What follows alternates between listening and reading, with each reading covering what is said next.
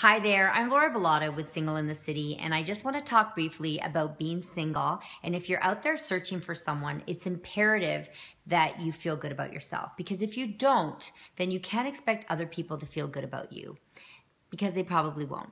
So do things like, you know, maybe you want to get involved in a sport that you love or going to the gym makes you feel great, you feel more confident, more sexy, you feel more fit. Then do more of that. You know, stop procrastinating, get off your lazy butt and get to the gym if eating healthy makes you feel lighter on your feet and it makes you feel good, then then do more of that. You know, if eating a quarter pounder with cheese and a large fry with a big Coke makes you feel like crap, then do less of that.